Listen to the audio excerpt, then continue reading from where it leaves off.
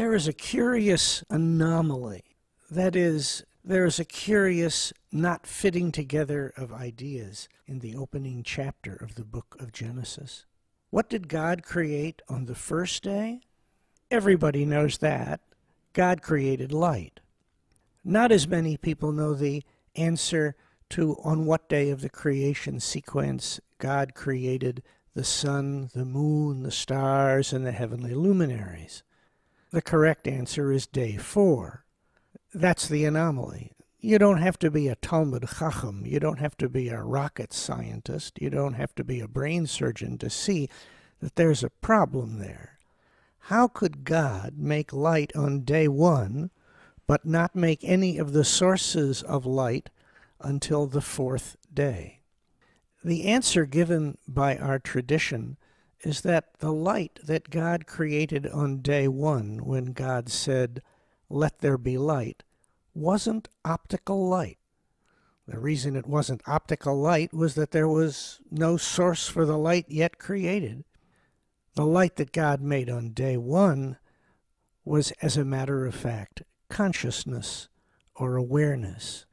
Even to this day, when we want to depict a cartoon character getting a bright idea, we draw a light bulb over his or her head. What God made when God began creation then was awareness. If you don't believe me, all you have to do is look at a newborn infant lying there in the dark oblivion of unconsciousness. The little soul slowly opens unfocused eyes and looks around at a universe, and then after that moment of light and consciousness sinks back into unconsciousness again. The Midrash, and after it the Zohar, take this image even further. They say that the light that God created on day one was so bright that in it Adam and Eve were able to gaze from one end of creation to the other. Adam and Eve could see you and I right now. Go ahead. Wave to Adam. Hi, Adam. How are you? But then God had a problem because when God realized that Adam was unable to follow one simple mitzvah, don't eat the fruit, God realized that God would take that light of ultimate awareness in which Adam lived and would destroy creation. On the other hand, if God simply took away the possibility of ultimate awareness, creation couldn't exist either.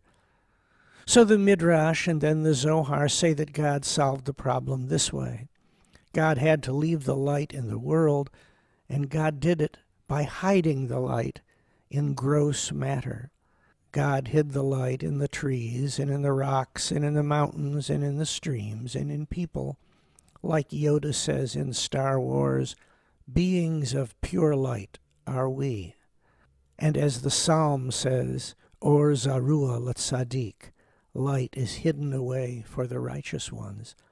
And when you act like a good man or a good woman, then a little bit of that ancient hidden light of consciousness and awareness makes its way back into the universe.